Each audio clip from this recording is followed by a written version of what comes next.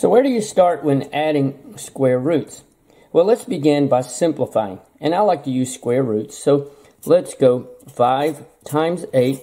And what I'm doing is I'm multiplying two numbers together that equal 40. And then I circle the prime numbers. And now I know that 2 times 4 equals 8. Circle the 2 because it's prime. And then I have 2 times 2 is 4. So I'm down to prime numbers. So I'm going to place it back underneath the square root sign. I have 5, 2, 2, and 2. And I got that from these.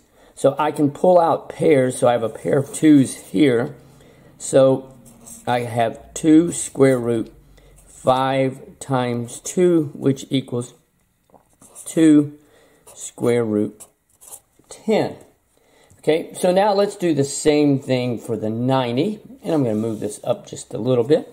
So let's begin with uh, 90. Why don't we go 2 times 45 because that equals 90. And then let's go 5 times 9. Circle the 5 because it's prime. And then 3 times 3.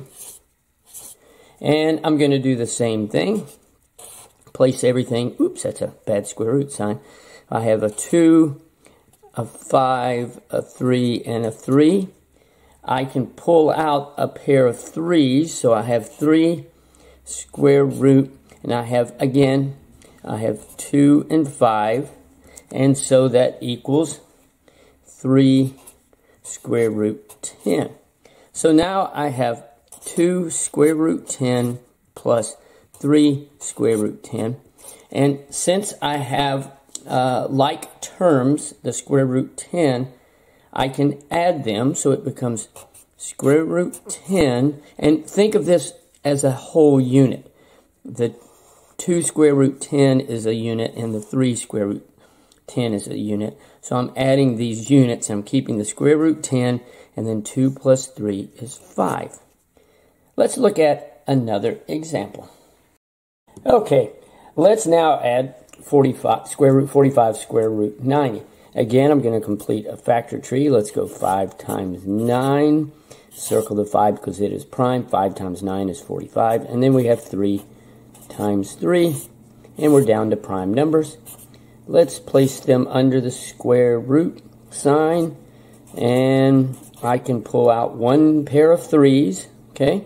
So I have 3 square root 5. Now I'm going to do the same for 90.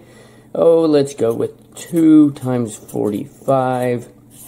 And then let's go 5 times 9. And then, because circle the 5 because it's prime. And then 3 times 3.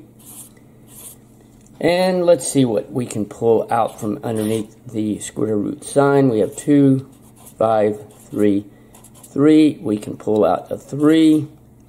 That leaves us with 2 times 5, which is 10. So now we have square root, we have 3 square root 5 plus 3 square root 10. At this point, you would combine like terms, but we don't have any like terms, so it becomes 3 square root 5 plus 3 square root 10 because you don't have any like terms. Hope that was helpful. Thanks for watching, and remember, Kindness multiplies kindness. Be kind to someone today.